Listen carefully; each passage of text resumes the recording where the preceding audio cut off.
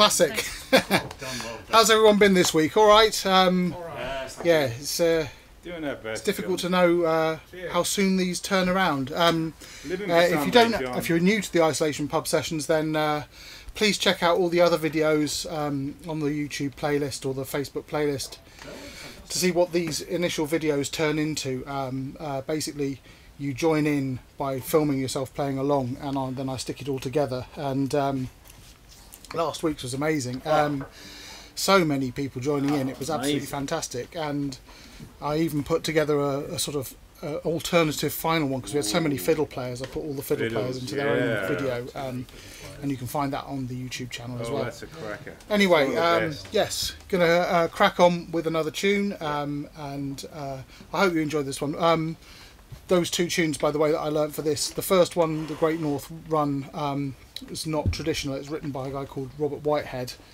uh, but it's a fantastic session tune. Actually, I, I remember playing it in sessions uh, years ago, but I had to go and look up the notes to make sure I got getting them vaguely right. Uh, Durham Rangers is a traditional tune from uh, that neck of the woods, sometimes known as Sherwood Rangers as well. Um, sounds like a football team. Anyway, so uh, and I'm going to do you another non-traditional tune now. This one's written by one of my Squeezebox heroes, a guy called John Kirkpatrick, um, and uh, it's called "Jump at the Sun" Oh, for a sunny day too. uh, in E minor because I'm playing it on a DG melodeon. Beautiful. Here we go.